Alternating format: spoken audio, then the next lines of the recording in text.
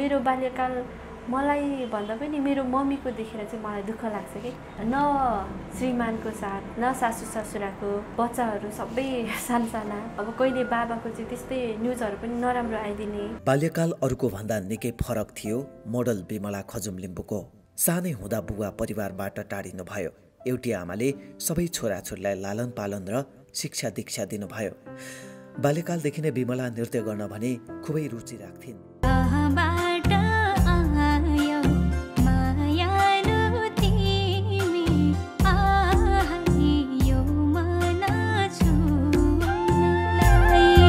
डान्समा चाहिँ एकदमै पागलै थिएँ म बच्चैदेखि। पछि गएर अब मोबाइलहरू आयो अब मोबाइलमा मुभीहरू हेर्न थाल्यो। पछि चाहिँ मलाई निरुता सिंह अनि मिथिला शर्मा झरनादी उहाँहरूको चाहिँ एकदमै एक्टिङ मन पर्थ्यो भनौँ न। ए, अँ। अनि उहाँहरू जस्तै काम गर्न पाएँ। ठुली भएर उनी कलाकार बन्न चाहन्थिन् तर उनलाई लाग्थ्यो कलाकार बन्न धेरै सम्पत्ति अनि पढे लेखेको हुनुपर्छ। हिरोइनी भनेपछि त कति धनी त्यो फिल हुन्थ्यो गाउँमा। सम्पन्न हुनुपर्छ भन्ने एकदमै। सबै कुरा हुनुपर्छ म मसँग त थिएन। इच्छा शक्तिलाई केले पो छेक्न सक्छ र? बिमलाले आफै लगानी गरेर भए पनि म्युजिक भिडियो बनाउने सोच बनाइन्। एउटा म्युजिक भिडियो चाहिँ म जसरी नै खेल्ने हो पैसा तिरेर भए नि खेल्ने हो भन्ने सोच चाहिँ थियो मेरो। तर अपसोच बिना पारिश्रमिक उनले एउटा म्युजिक भिडियोमा काम गर्ने मौका पाइन्। त्यसपछि उनले निरन्तर अरू म्युजिक भिडियोहरूमा पनि काम पाउन थालिन् मैले जब पनि गर्थेँ अनि कलेज पनि पढ्थेँ अनि हजुर। अ, म्युजिक भिडियोहरू पनि अब कहिले कहिले आउँथ्यो अनि तिनीहरू नि गर्दा गर्दै अब अहिले उनले करिब पचासभन्दा बढी म्युजिक भिडियो र केही चलचित्रमा काम गरिसकेकी छिन् हो आज हामीले यिनै उदयमान कलाकार बिमला खजुम लिम्बूसँग कुराकानी गरेका छौँ मैले जति सोचेको थिएँ त्योभन्दा धेरै काम गर्ने मौका पाएँ। अवसरहरू पाएँ। अब जस्तै मैले जुन तपाईँले अघि नै भनेको थिएँ नि एउटा म्युजिक भिडियोको सोचमा थिएँ तर मैले अब धेरै म्युजिक भिडियो प्लस मुभीहरूमा काम गर्ने अवसर पाएँ सन्तुष्ट छु सम्मान स्वरूप भिडियोलाई लाइक कमेन्ट अनि सेयर गर्न नभुल्नुहोला बिमलाजी स्वागत छ तपाईँलाई। सन्चै हुनुहुन्छ? हजुर एकदमै। सुरुमा म तपाईँको व्यक्तिगत साथै पारिवारिक पृष्ठभूमिलाई पनि थोरै जोड्न चाहेँ। तपाईँको जन्म चाहिँ कुन ठाउँमा भएको? मेरो जन्म चाहिँ पूर्वी पूर्वको धनकुटा बसन्तटार सार्तुक्पा भन्ने ठाउँमा भएको। ए त्यहाँ जन्मिनु भयो कति सालमा? सन्ताउन्न सालमा। सन्ताउन्न सालमा जन्मिनु भयो बाल्यकालको कुराहरू पनि सम्झाउन थोरै बाल्यकाल कस्तो बितेको थियो त्यो ठाउँमा? भनिदिनुहोस् न।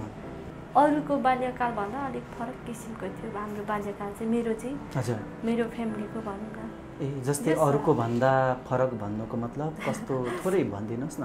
मतलब हुन त अब बच्चामा सबैको त्यही हुन्छ अब थोरै खान पाए खुसी हुने केही नयाँ कुरा देख्न पाए खुसी हुने लाउन पाए खुसी हुने सबैको त्यही नै हुन्छ।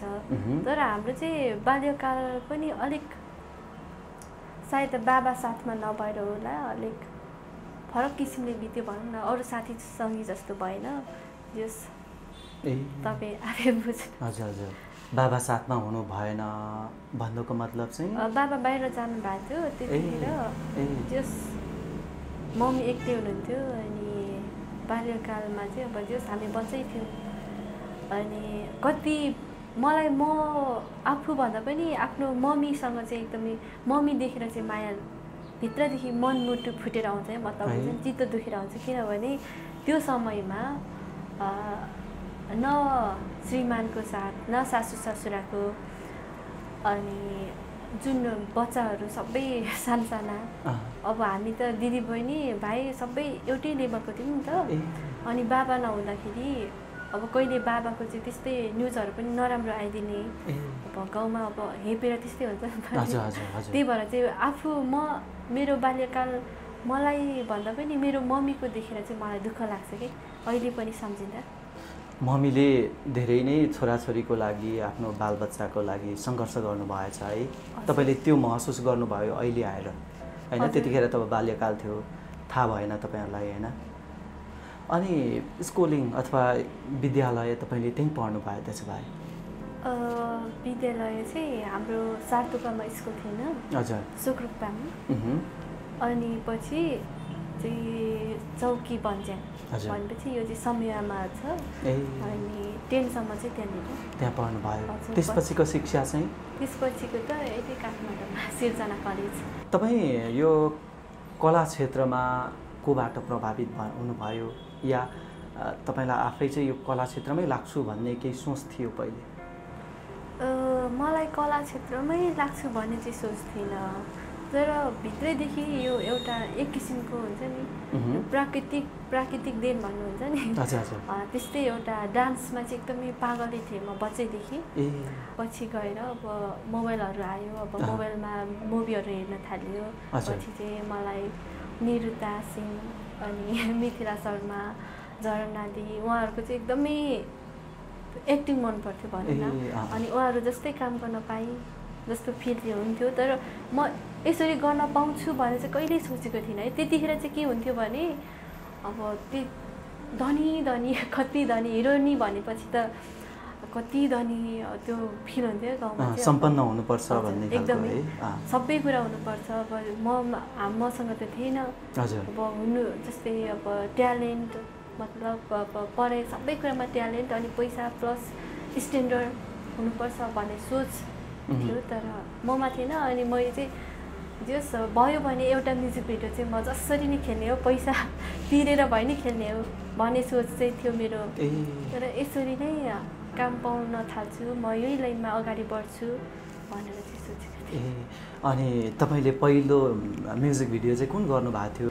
यस्तो भयो अब यो तिमीसँगै सरी तिमीसँगै भन्ने म्युजिक भिडियोमा चाहिँ विशेष गरी अब धन्यवाद दिन चाहिँ दिन चाहिँ मैले सङ्गम रोक उहाँलाई चाहिँ म एकदमै धेरै धेरै धन्यवाद दिन चाहन्छु किनभने पहिलो म्युजिक भिडियोको अवसर काम गर्ने अवसर उहाँले दिनुभएको थियो मलाई।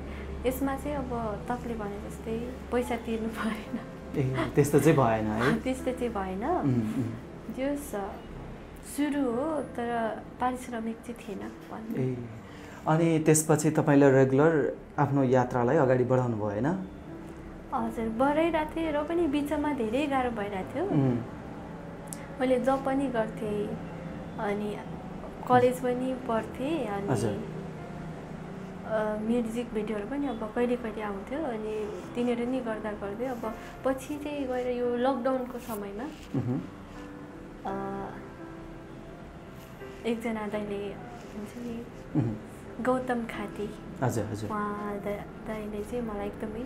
एउटा राम्रो काम गर्ने अवसर दिनुभयो। उहाँको म्युजिक भिडियोबाट चाहिँ अझै मैले धेरै काम गर्ने अवसर पाएँ अनि त्यसपछि मैले अझै यो इस्माइल सं शङ्कर इस्माइल दादा उहाँहरूसँग चाहिँ का उहाँहरूसँग पनि काम गर्ने मौका पाएँ। अझै मलाई राम्रो भयो अनि प्लस पछि यो सुमन राई सिङ्गर हुनुहुन्छ उहाँको एउटा गीतमा आउन माया। त्यहाँ चाहिँ त्यसमा चाहिँ दयाहाङ राईजी हुनुहुन्छ।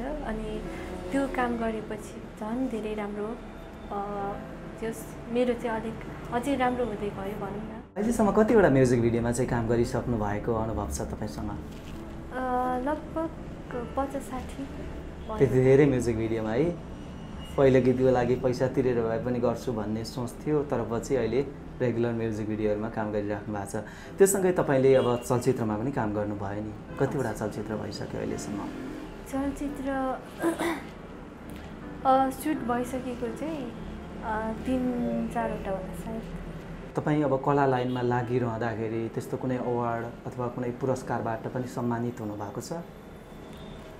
यसमा चाहिँ कला लाइनमा चाहिँ एउटा एफएलएफ अवार्ड बेस्ट नायिकामा पार्न सफ हात पार्न सफल भएको थिएँ। अनि प्लस एउटा चाहिँ यो बेस्ट मोडल सिजन टूको। विनर पनि भएको थिएँ। त्यो सँगै अब तपाईँको होइन कला क्षेत्रमा आइपरेका चुनौतीहरू समस्याहरू केही छन्? लागिरहँदा अहिले पनि स्ट्रगल गरिराख्दाखेरि? अब कला लाइन अब मान्छे बाहिरबाट हेर्दा एकदमै राम्रो।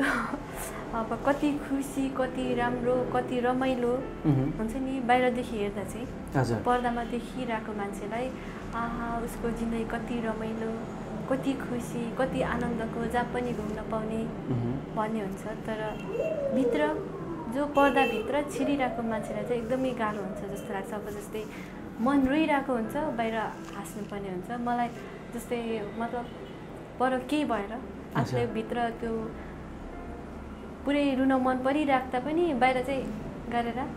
हाँस्नै पर्ने हुन्छ। अनि। अर्को कुरो बाहिर पुरै हाँस उठिरहेछ नि।